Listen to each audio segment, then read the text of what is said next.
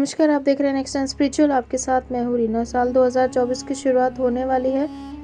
नए साल पर कई बड़े ग्रह अपना स्थान परिवर्तन करके सभी राशियों पर अपना असर डालेंगे, जीवन को प्रभावित करेंगे। बता दें कि शुक्र को धन के दाता के नाम से भी जाना जाता है। ऐसे में धन के दाता शुक्र साल 2024 में मालवीय राज्यों का निर्माण करने जा रहे हैं। शुक्र के अपनी उच्च राशि मीन में प्रवेश करने, शुक्र के अपनी उच्च राशि मीन में प्रवेश करने से इस योग का निर्माण होगा। इस दौरान कुछ राशियों का, इस दौरान कुछ राशियों का भाग्योदय होने जा रहा है। इन राशि वालों को धन दौलत की प्राप्ति होगी। आइए जानते हैं लकी राशियाँ कौन सी है। पहली है वृक्ष राशि।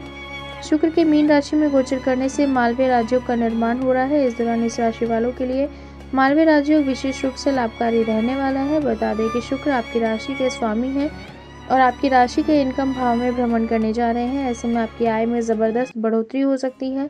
इस समय आय के नए सोर्स बन सकते हैं। कोई संपत्ति या वाहन आप खरीद सकते हैं। भाग्य का साथ मिलेगा। इससे उन्नति के द्वार खुलेंगे। पुराना निवेश इस समय शुभ फलदायी साबित होगा। वृक्ष राशि वालों को इस समय पुत्र और पौत्र की प्राप्ति होगी। संतान की तरक्की हो सकती है। इस समय आपकी सभी इच्छाएँ पूर्ण होंगी। इसके बाद है धनु राशि।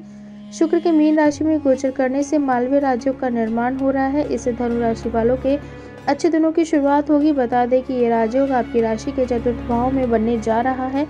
ऐसे में आपको भौतिक सुखों की प्राप्ति होगी। इस दौरान आपको वाहन और प्रॉपर्टी के सुख की प्राप्ति होगी। पैतृक संपत्ति का सुख मिल सकता है। बता दें कि शुक्र ग्रह आपकी राशि के छठे और ग्यारहवें भाव के स्वामी है, ऐसे में आपकी आय में ज़बरदस्त बढ़ोतरी होगी, करियर में भी आपको एक के बाद एक सफलता मिलती जाएगी। ये समय कारोबारियों के लिए अच्छा ये समय कारोबारियों के लिए लाभदायी रहेगा और अच्छा धन लाभ भी कराएगा। इसके बाद एक कर्क राशि बता दें कि मालवीय राज्यों, कर्क राशि वालों के लिए भी शुभ फलदायी सिद्ध होगा। इसके अलावा शुक्र ग्रह आपकी राशि के नवम भाव में भ्रमण करने जा रहे हैं। ऐसे में आपको किस्मत का पूरा साथ मिलेगा। इस दौरान आपको भाग्य का साथ मिलने से लाभ और उन्नति के अवसर प्राप्त होंगे। इस समय आपकी आर्थिक स्थिति अच्छी रहेगी।